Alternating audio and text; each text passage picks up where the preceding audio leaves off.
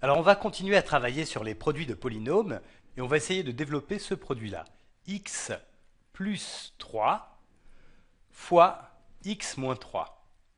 x plus 3 fois x moins 3. Alors mets la vidéo sur pause et essaye de voir si tu peux faire quelque chose tout seul. Donc pour le faire, on va faire comme d'habitude, c'est-à-dire qu'on va utiliser la double distributivité. Alors je vais commencer déjà par distribuer les deux termes de cette parenthèse-là à cette parenthèse-ci. Donc ça va me donner déjà x fois x moins 3, x fois x moins 3, et puis plus 3 fois la parenthèse, donc plus 3 fois x moins 3. Voilà. Là, je vais encore une fois utiliser la distributivité. Je vais distribuer ce terme-là aux deux termes de la parenthèse. Donc, il va y avoir x fois x, c'est-à-dire x au carré. Et puis x fois moins 3, c'est-à-dire moins 3x. Ensuite, je vais faire la même chose ici pour ce, terme-là. Je vais avoir 3 fois x, donc plus 3x. Et puis plus 3 fois moins 3. 3 fois moins 3, ça fait moins 9. Donc ce que je vais avoir ici, c'est moins 9. Maintenant, on peut simplifier un peu cette expression, on peut réunir les termes de même degré. Donc il va me rester x au carré, ça je peux rien faire. Et puis là, moins 3x plus 3x. Moins 3x plus 3x, ça s'annule. Ces deux termes-là s'annulent. Et finalement, il me reste donc ce terme-là, moins 9. Donc ce que j'obtiens une fois que j'ai développé ce produit-là, c'est ça, x au carré moins 9. Alors peut-être que tu vois une sorte de règle qui se dégage ici, c'est que en fait, tu vois, j'avais x plus 3 fois x moins 3, donc j'ai ce x ici et ce x là, et ce que je retrouve ici, c'est le terme x au carré, hein, ici.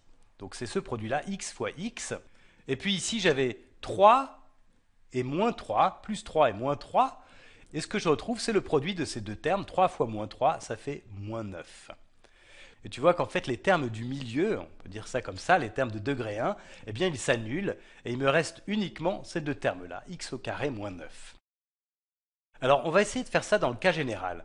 C'est-à-dire qu'on va essayer de développer ce produit-là, x plus a fois x moins a où a est n'importe quel nombre. Et euh, donc j'aimerais bien que tu mettes la vidéo sur pause et que tu essayes de le faire toi-même en utilisant la même technique que tout à l'heure et en supposant que a est un nombre quelconque, n'importe lequel. Alors on va le faire. Donc je vais déjà avoir x fois toute cette parenthèse. Donc c'est x fois x moins a. Ensuite, je vais avoir plus a fois cette parenthèse donc plus a fois x moins a, fois x moins a. Et là, je vais redistribuer encore une fois.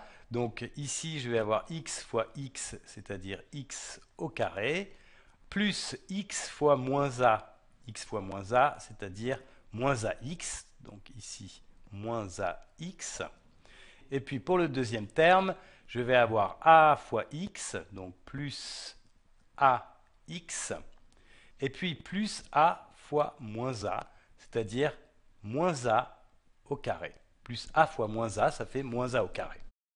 Alors on va faire les simplifications comme tout à l'heure. Ici j'ai moins ax plus ax, ces deux termes-là du milieu s'annulent encore une fois, et il reste x au carré moins a au carré.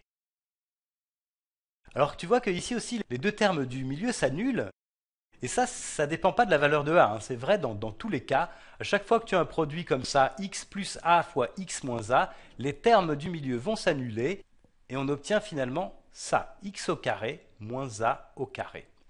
Donc ça, c'est une identité remarquable dont tu peux te souvenir. Hein. Je vais la réécrire ici.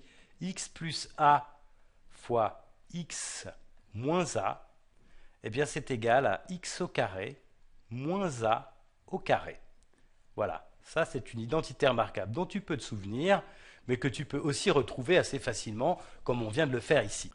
Et ça, c'est un moyen extrêmement rapide et facile de développer un produit de ce genre-là. Par exemple, si tu dois développer très rapidement ce produit-là, x plus 10 fois x moins 10, Là, on est exactement dans ce cas-là. hein. On a x plus a fois x moins a. Ici, a, c'est 10. hein. Ça, c'est notre a. Et du coup, tu peux appliquer directement cette identité remarquable là, et tu trouves que x plus 10 fois x moins 10, eh bien c'est égal à x au carré, moins a au carré, ici a est égal à 10, donc a au carré c'est égal à 100. Donc ce que tu obtiens finalement, c'est x au carré moins 100.